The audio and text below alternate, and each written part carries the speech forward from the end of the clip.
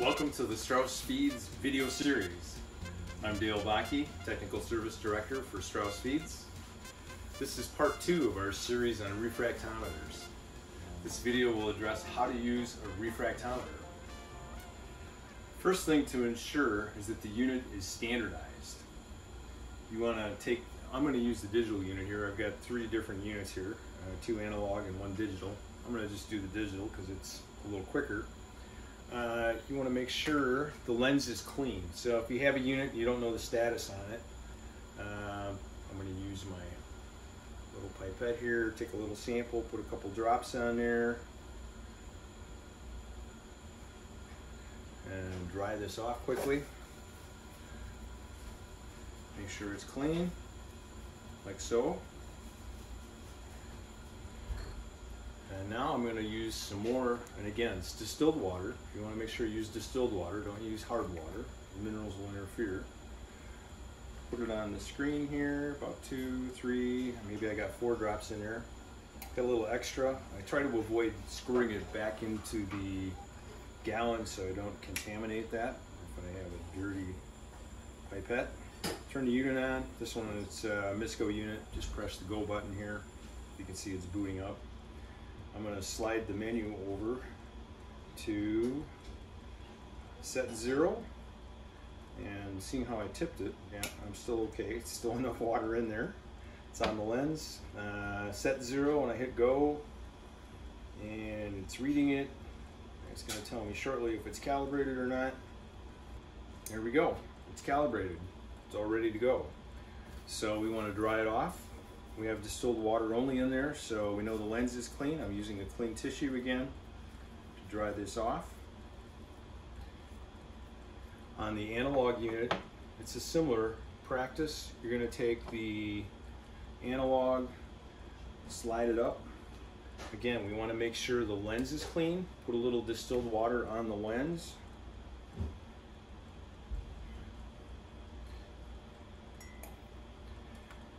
Drop this back down on the cover. Make sure we have full contact with both surfaces here, which is important on this unit. And again, use my, actually I'm going to grab a clean tissue, uh, wipe the surface dry, make sure it's dry and clean. And then we are ready to put another drop of water on the unit. It only takes a drop. Doesn't take much on these analog units. It spreads it out when we put the cover down. Drop the cover. And I want to take a light source, a bright light source, and I'm going to look into the optics. So you can see looking into the unit on the optical eye where it is and on the zero scale I want to make sure that the zeros on the bottom align with the unit it's reading and we're in good shape on this unit. So we're ready to go. Similar process, here. Uh, slide it open. We know we have just distilled water. This time I just have to clean it off. I actually had a milk sample or a colostrum sample on here. I want to make sure I dry it off first and then use distilled water to clean that surface before I do another measurement. So I ensure that it doesn't interfere with that. Okay, now let's, uh, we're ready to test some milk solids. You can use the unit, as we discussed in part one, for measuring total proteins. We can use it for measuring our Brix, and we can use it for measuring our milk solids. I'm just going to do a quick example here on the digital unit. Again, it's all set up. We know we have the surface clean from earlier. I'm going to use, I have a sample of milk here. One thing with milk is make sure you either shake it or have agitation on your tank before you pull a sample out because that unit, uh, milk itself is going to separate, especially if you have waste milk. Uh, the fat's going to rise to the surface and you're going to end up with more protein on the bottom. You will not get an accurate count. On the Misco, we need to put about three drops so we make sure we cover the lens well. I've got a clean dropper here, so I'm just going to close this. And again, it's sitting on the unit. Close the eye. Oh, it shut off on me. Turn it on again. And press the menu button. I can do the Brix on this unit. Uh, it also does milk solids. Seeing how we want to do a milk solid, I'm going to make it easy. And it's on there, it's ready to go. So I just press go again. It says it's ready to measure it. I press it the third time and it's doing a reading. And I'm going to set the unit down so it's stable. And I have my first reading of 13.9 and I'm going to jot that down on my paper here. The unit itself has been stored at room temperature. This milk in this situation is cold. Uh, I may not get a real accurate temperature. It's supposed to have a, a, temperature compensation built into these units. But what I find, it's a lot more repeatable. The results are a lot more repeatable if you try to wait a few seconds after you put, I'd say probably about 30, 40 seconds, after you put the sample on the lens to let the temperature equivalent to what the unit is, you're gonna find the results to be much more consistent. I just wanna measure this again. So if I press the go button again, it takes me back to the reading menu. And this time I got a 14.0.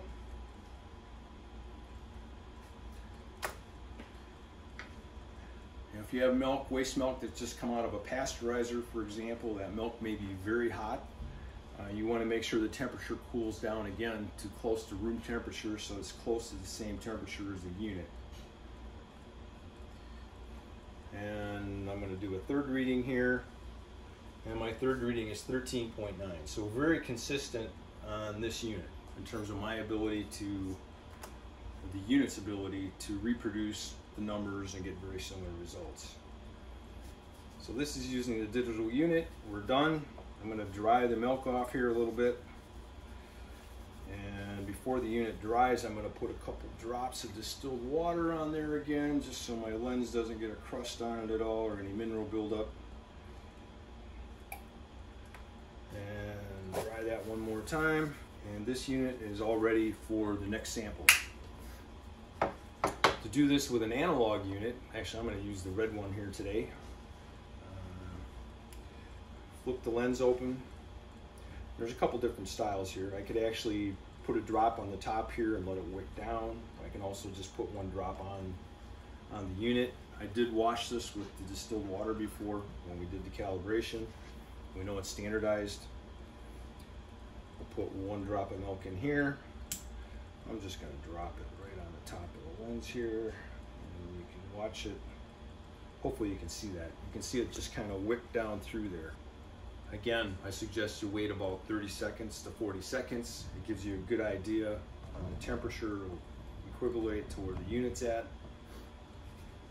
So you don't want to just, again, pull it out of the pasteurizer and put it on the unit or we may not end up with a very accurate number. So I'm going to look through here. It's about 12.2. So I got about a 12.2 reading on this. Now, that sounds much lower than what we had on the other unit. This is an analog unit. We're measuring the Brix this time. We're not measuring the milk solids. That one was measuring the milk solids. So to get the milk solids with a unit like this, I need to add about 1.5 to what we're getting. Uh, 1.5 is what you find in the text and different studies that have been done when you're looking at an analog unit for using a digital unit, and it's going to vary a little bit on the unit, the key is just make sure you do it consistently. It's about a one point difference on the digital between the milk solids and the Brix. I'm going to try to qu quickly wipe this off. Drop on here, a couple drops on here. Oops, I want to go back in my jug. I want to keep that clean. We're going to wipe that lens off. And again, at farm level, I suggest you do, if you want a real accurate number, again, make sure that milk's stirred up before you pull the milk sample. In this case, I shook it well before I pulled it. Close the lens, let it slide through. If that temperature is way different than what my unit is, give it the 30 seconds, 40 seconds look in the eye again. I want to look at a bright light. And I've got a reading of about 12.4 I'll cut it at this time. So that's about as accurate as I'm going to be here. So 12.4.